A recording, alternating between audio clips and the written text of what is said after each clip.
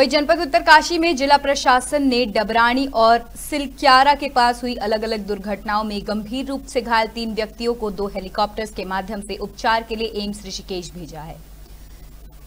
जिलाधिकारी डॉक्टर मेहरबान सिंह बिश्ट ने घायलों को बेहतर उपचार के दृष्टिगत चिकित्सकों की सलाह पर एयरलिफ्ट कर हाई सेंटर भेजे जाने के निर्देश दिए थे। आपको बता दें कि यमुनोत्री से कर्नाटक के तीर्थयात्रियों को गंगोत्री के लिए लेकर आ रही एक बस सिलक्यारा के पास सड़क पर पलट गई थी, जिसके चलते इस हादसे में घायल यात्रियों को जोशियाड़ा में नवनिर्मित हेलीपैड से हेलीकॉप्टर से एम्स ऋषिकेश भेजा गया। उत्तरकाशी से विनीत कंसवाल की रिपोर्ट।